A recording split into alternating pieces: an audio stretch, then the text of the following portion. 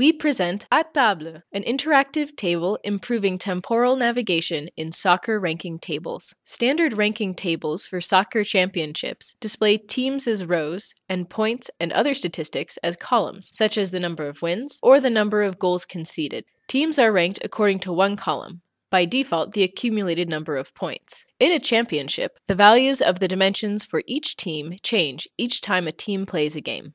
Thus, the table contents and row ordering change for each day of the championship. Without visual help, it is almost impossible to track changes, observe teams' evolution, or generally perform temporal tasks. To perform temporal tasks, well known visualization and interaction techniques may help, such as sliders to browse the temporal dimension, animated transitions and row highlighting to follow a team, and column sorting to rank teams according to a specific dimension. However, performing complex temporal tasks is difficult using these generic techniques. We introduced two new interactive techniques to enhance temporal navigation in ranking tables. Drag cell is a direct manipulation technique to browse time by interacting in the value domain instead of the time domain. First, the user mouse clicks a cell corresponding to a team's dimension. By dragging the mouse up and down, she explores the value domain of the cell. Arrows indicate a preview of each team's behavior if the mouse were to be released, and a temporal slider displays feedback. When releasing the mouse, the table changes to the time at which the team has the selected value. The arrows disappear. For example, let's answer the following common question addressed by soccer analysts.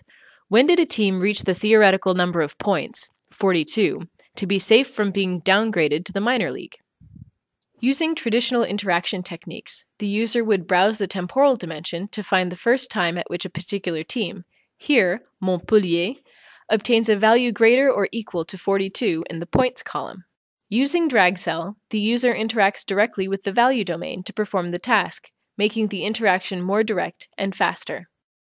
The second technique, VisRank, uses line charts as a temporary overview of the championship. First, the user clicks a cell corresponding to a team and a dimension. VisRank animates the table into a timeline format by widening the columns and rows. The y-axis of the chart represents the selected dimension's values, while the x-axis represents time. One line chart is displayed for each previously selected team using semantically resonant colors. An inspector shows the values of each line chart. VisRank provides two scales, an absolute scale, mapping line charts on the dimension values, and a relative scale, mapping line charts on ranks. The user can also select or unselect teams to show or hide their corresponding line chart. Finally, Clicking the Overview chart transforms it back into a table using the inverse transition with the selected time value.